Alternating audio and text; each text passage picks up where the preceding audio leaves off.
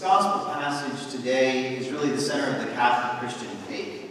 Uh, they call it the Bread of Life discourse, in which Jesus says, Unless you eat the flesh of the Son of Man and drink his blood, you have no life within you. He who eats my flesh and drinks my blood has life, and I will raise him on the last day. Now, at the end of this, a few lines later, it says, Many of them left him over this, because it was a difficult saying. Many of them left him. This is the only place in the New Testament where it says people left him, his disciples left him over a teaching. Now, I don't know about you, but if this is just symbolic, if it's a metaphor, I don't know why people would leave. He said some other stuff that was a little tougher than this, if it's a metaphor. And you can imagine that Jesus said, unless you eat my flesh and drink my blood, and they're getting ready to leave, and Peter or somebody says, no, no, no, wait, wait, it's just a metaphor. It's, you know, he's not the shepherd either, but he said he's a good shepherd. He's not a vine in the he said he is. He's not the sheep gate, but he said he was that. And Jesus repeats himself. He says it again. Unless you eat the flesh of the Son of Man and drink his blood, you have no life within you. Now, when we hear this translated into English, uh, sometimes it sounds like he said the same thing. And he more or less did, but he used different words. The Gospels were written in Greek. And some of you here are probably Greek. Some of you here are associated with Greeks to a certain extent. And so what I'd like to do, I want to read it to you in the Greek and, and show you the different nuance with respect to the words that are used because this is important for those who would say it's just simply a symbol. He uses it as a symbol of his flesh and blood. Amen, amen, legomumi. Ea me facte te sarca, tu uio tu anthropo, kai pinte al tu tuaima, uk ekete zoin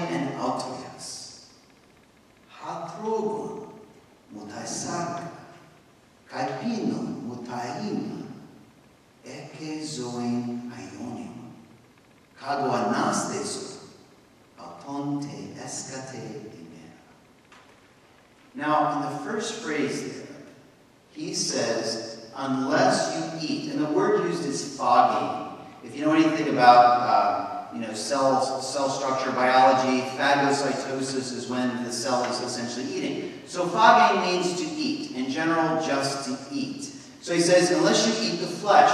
There's two words for flesh. Soma means flesh like a steak, like a, a dead animal. It's a corpse. There's no life there. Or sarx. And sarx is living, breathing, heart-beating flesh. And he says here, sark, sarx. So unless you eat the flesh, the living, breathing flesh, and drink his blood, you have no life within you. Now, this is why I think there was some hesitation. The apostle said, wait, wait, he's just he's using a metaphor. Because he changes it in the second phrase. Instead of phagain, which means just generally to eat, he says trogon. Trogon means to munch on, to crunch on, to chew, to digest. It's the physical act of eating. In other words, I'm not making a joke here. I'm not speaking in symbols. I want you to eat my flesh and drink my blood. Now, to the Jews, this was no option. Because for the Jew, they had to kosher everything. They believed that the life force of God in Hebrew, the nephesh, was in the blood. So when the blood was emptied out, the animal or human or whatever was dead because there's no nephesh, there's no life force of God. So when they would slaughter an animal, they would empty the blood out on the ground and essentially kosher it. And that way they could eat it. By Jesus saying, Eat the flesh of the Son of Man, Jesus, who is also called the Lamb, the Lamb of He's saying, take within you the very life presence of God, the nephesh. And that's what we call grace. We receive the body and blood of Christ into us, and that grace is sharing in God's life. It's the nephesh. That's what we celebrate in the Eucharist. People will not die over a metaphor. You know, if, if I have a picture of my nephew, I'm not going to die for that picture of my nephew. I might die for my nephew. I'm not going to die for.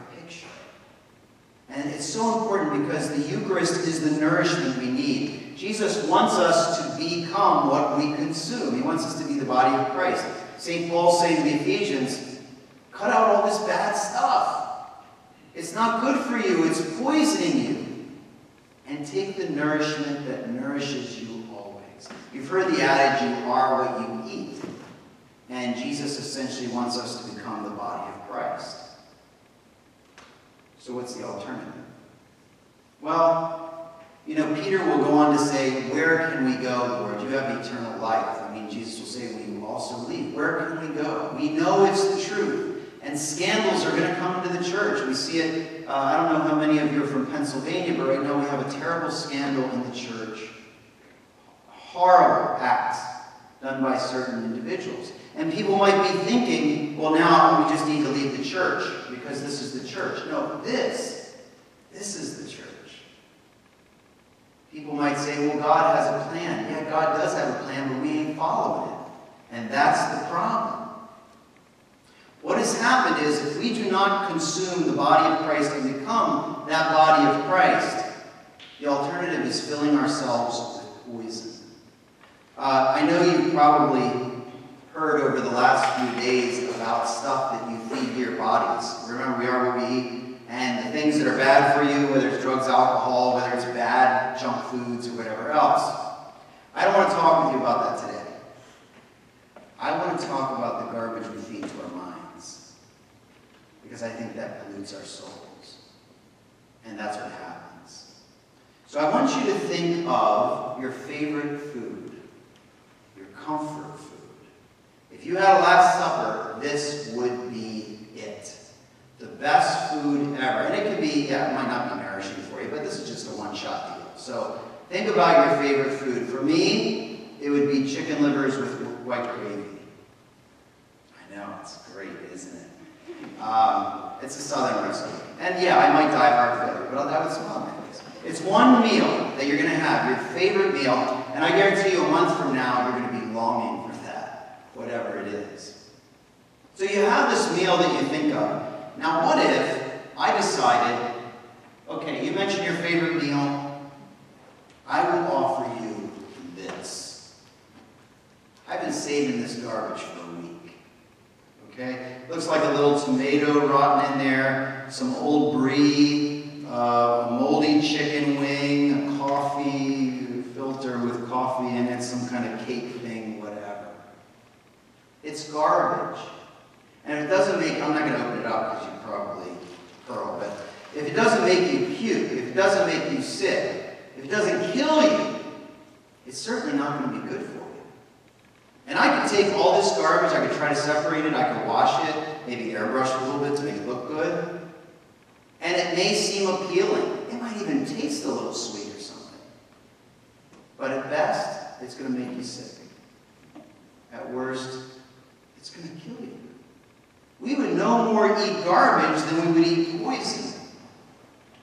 And yet that's what's happening. From the time you're in elementary school up through high school and even college and later on, we see billions of images and messages, so much input from many different platforms that we are consuming. And that necessarily affects us. We can deny it, but it does. Just like putting poison into our body, we might not even notice it. A person eating out of the dumpster is probably going to get sick a few times until their body adjusts and then they'll be able to stomach it. But they're still going to die young. They're still going to be sick, even if it seems kind of appealing. And so I, I really want to stress when we get into trouble, we see scandals like the one that's in the church right now, it's because we have allowed ourselves to consume so much garbage and become so tainted that we not we don't look at our brothers and sisters anymore as subjects, which they are. We look at them as objects. A subject is someone who is created for their own good.